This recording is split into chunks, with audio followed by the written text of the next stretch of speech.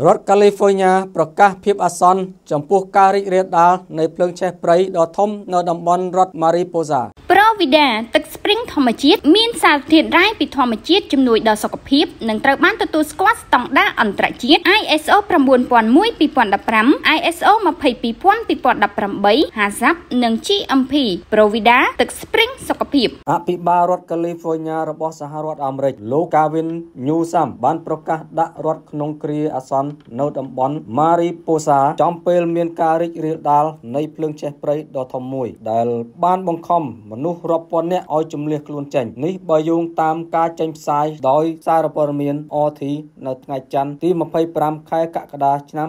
2022អភិបាលខេត្តកាវិនញូសាំបានធ្វើការប្រកាសនេះខណៈដែលភ្លើងកំពុងឆាបឆេះចាប់តាំងពីថ្ងៃសុក្ររហូតមកទល់ពេលនេះនៅតែមិនទាន់រលត់ទៀតនៅភូមិខាងកើតរបស់រដ្ឋដីដីជាង15000ហិកតាត្រូវបានបំផ្លាញហើយមនុស្សជាង3000នាក់នៅក្នុងរដ្ឋត្រូវបានបញ្ជាឲ្យជំលះដោយបង្ខំប្រូ វីដាទឹកស្ព្រីងធម្មជាតិមានសារធាតុរ៉ែពីធម្មជាតិជំនួយដល់សុខភាពនិងត្រូវបានទទួលស្គាល់ស្តង់ដារអន្តរជាតិ ISO 9001:2015 ISO 22000:2018 HACCP និង GMP ប្រូវីដាទឹកស្ព្រីងសុខភាព